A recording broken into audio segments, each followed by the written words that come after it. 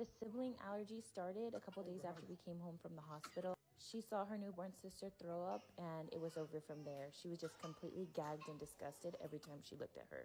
Which I don't blame her because babies are gross. Anytime she saw anything white, like throw up or skin peeling off the baby, she would just gag immediately. She even went as far as not eating anything white for a week. And my baby was struggling, but she was trying. She tried to get a little bit closer every day, but that baby just grossed her out. Just look at her.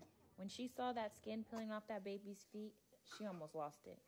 She ran for her life. I mean, just look at that cute face. Nope. Disgusted immediately. Look at the fear in her eyes. And she definitely tried to take her out a couple times. But she's starting to come around little by little. Look at those little pats. On occasion, we'll catch her giving her a little kiss, or a little hug, or a smack, but we won't get into that. We're working on it every day, and they're getting closer and closer. Oh.